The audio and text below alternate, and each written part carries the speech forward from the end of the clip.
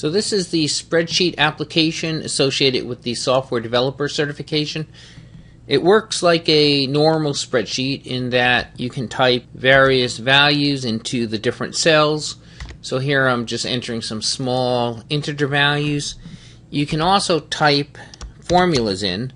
So here I'm going to say equals B1 and this will just take the value in the cell B1 and reproduce it here in this cell.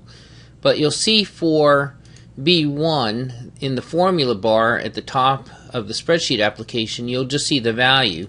But if you click into A2, you'll see the formula appears and the result of the evaluated formula shows up in the cell. So we can also enter string literals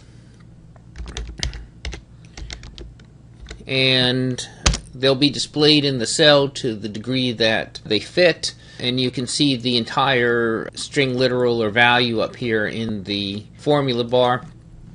We can also put in a formula which is a reference to a string literal so that string literal will be copied into the new location and if we were to modify that string literal it would be updated in both locations. We can also type in simple formulas. So for example, I'm going to add A1 plus B2. And the problem with this formula is that B2, of course, is a literal. So you can't include a string literal in arithmetic expression. That results in an invalid value, in which case you see these three exclamation marks.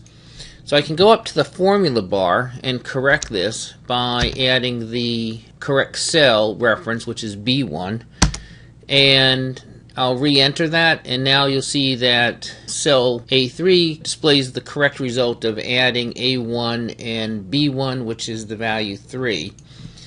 We can also create somewhat more complex expressions in the formula. For example, we'll add a1 plus b1 times c1 and in this case we get the value 9 and the reason we get the value 9 is that there is no operator precedence in evaluating these expressions. So normally we would want to see b1 times c1 which would give us the value 6 plus a1 which would give us the value 7.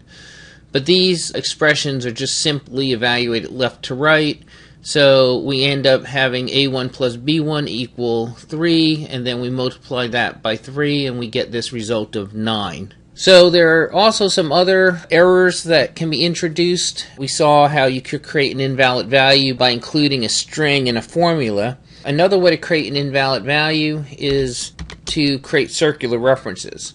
So we'll have A4 reference B4, and we'll have B4 reference A4.